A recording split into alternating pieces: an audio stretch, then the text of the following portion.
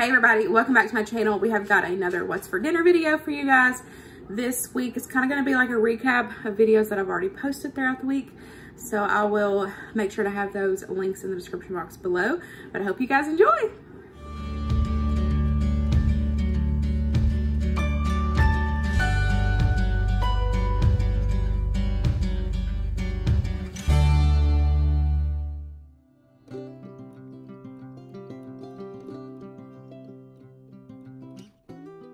We are starting off with sticky chicken.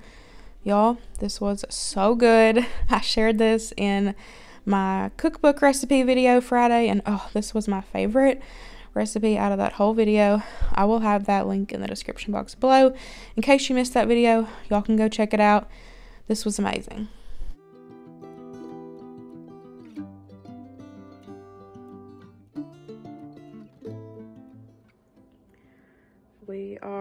Getting dinner going. I'm gonna do some baked tacos. I've shared these before, but I don't remember when. Um, so I'm just gonna share them again. We love these. Um, this is a really good, like, um, kind of like a rotation on say Taco Tuesday. Kind of throw these in here. Um, they're really easy and it's like an all-in-one kind of meal. So I've got my taco shells. I've got a can of rinsed and drained black beans, a can of drained corn, some Pam spray, we're gonna spray a casserole pan, got some Mexican style cheese, and then I cooked this up this morning and it's just some taco meat. So we got everything ready to go and I'm gonna show y'all how, how I put it together. The oven is preheated at 375. So let's get this put together, y'all.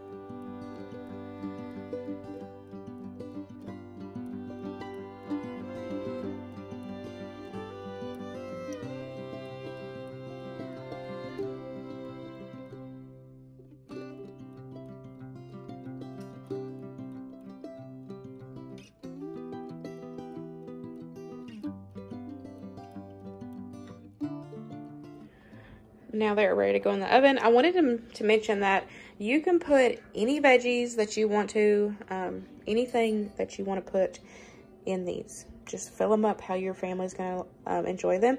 Sometimes I do saute some onion and pepper and put on a couple of them for Luke. I'm not going to this time. I'm just going to keep them basic. But I just wanted to note that you can do, put anything in the world in these. Uh, you could even do chicken, do some fajita chicken fill it up, then do the layers and bake them in the oven. These are super easy and delicious.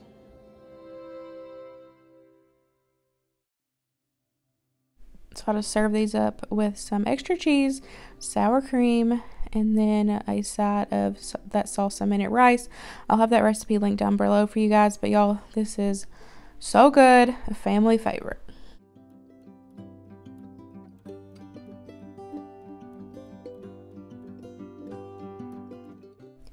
Next, we got the tomato sauce meatballs. I shared this in my slow cooker video on Wednesday. So I'll have that video listed down below for you guys in case you missed it.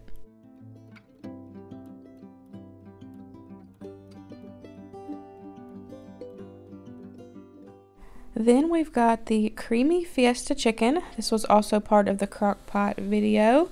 This was a new recipe for us and it was really good. I will definitely be making it again we really enjoyed it.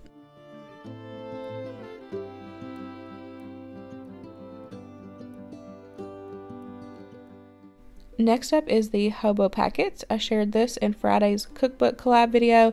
In case you missed it, of course, I'll have it linked down below.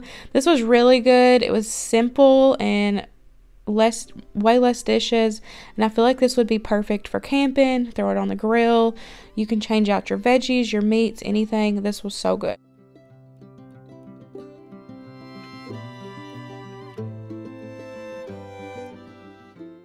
And then we have this three cheese pasta bake. Y'all, this was really good. Uh, this came from the Southern Living cookbook that I had. I'll have that video listed down below since that was a part of the cookbook collab.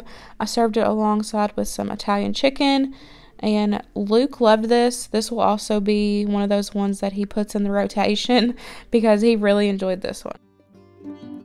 Quick and easy dinner here, y'all. I threw in some Red Baron frozen pizzas, and then we had leftovers from that three cheese pasta bake.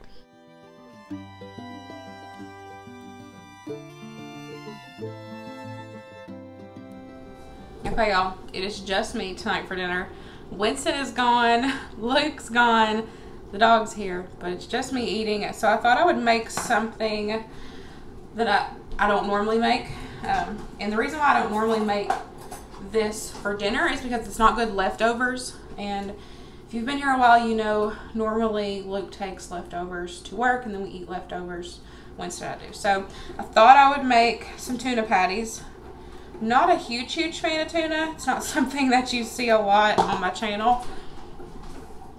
But every now and then I'll be like, that sounds good. So I thought I would make it, make this today. Um, so I have just got one can here of tuna in water and I have just squeezed it out and got all that water so it's just dry.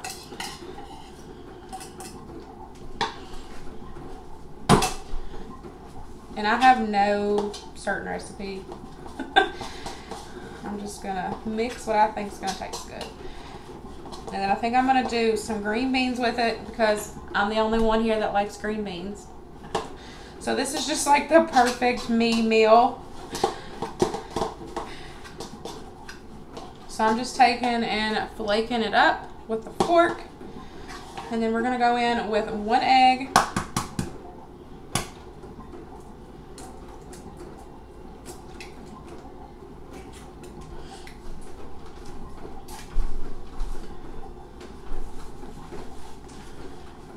Gonna go in with some pepper. some paprika, onion powder, garlic powder, a little bit of Dijon mustard, maybe a teaspoon, a little bit, a couple dashes of, few dashes, Worcestershire sauce.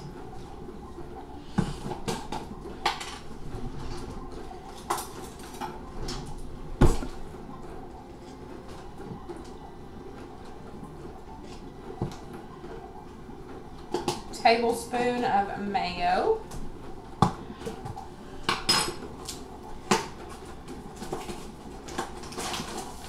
And then I've got some panko breadcrumbs.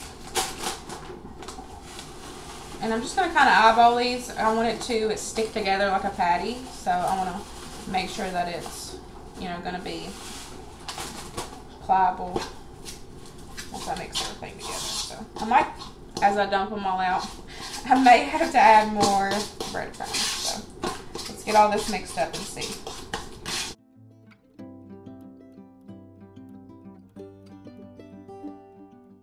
Add a little bit more.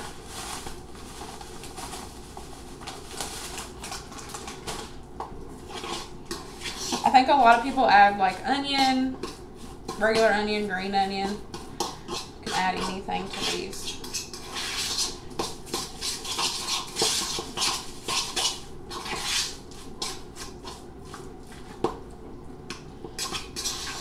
So this looks good. As I'm stirring it together, it's kind of like, you know, mushing. So I think it's going to form a good patty. So I'm going to get my pan nice and hot. Get it ready to go and then start the green beans. And I'll pull y'all over here so you can see me cook them up. So for the green beans, I'm going to add in some Worcestershire. I don't measure, y'all. I just kind of add it. But I always add Worcestershire to my green beans. I don't know why, but I always do. A little bit of salt. Some pepper. Garlic powder. And then if you have any ham or bacon, I normally do that as well. But I don't have any, so we're not going to worry about it this time. And then I'm also going to put in a little bit of butter. A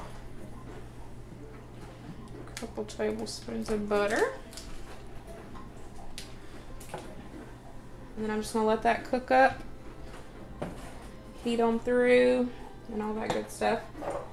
I've got a couple tablespoons of butter in this pan that I'm going to let melt up. Get it nice and hot and then we'll put our patties in there. Our butter is nice and hot. I'm gonna go ahead and add in our tuna. So it's definitely nice and moist, so it's not gonna dry out. You just want it to be able, it'll still be wet, but be able to um, patty it out.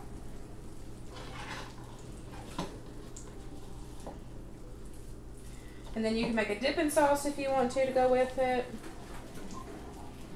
I'm not going to just because it's me and I'm lazy. but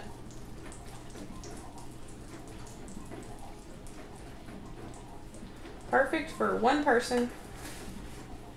The one can of tuna makes two good sized patties.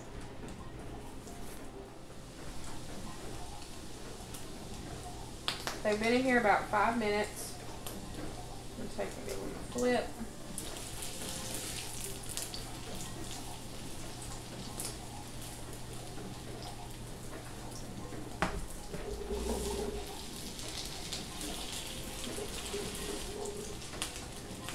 And then cook them for about another five minutes.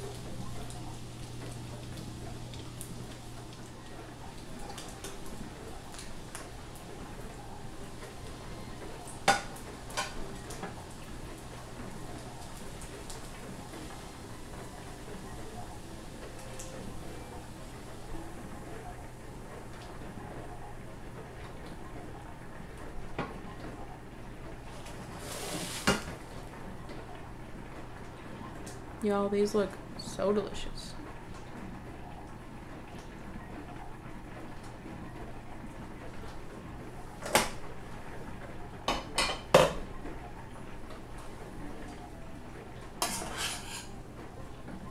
Add some green beans.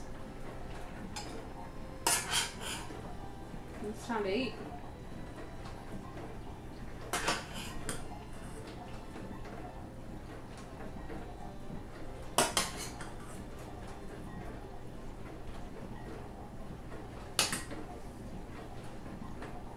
That's it, y'all. That's dinner for tonight.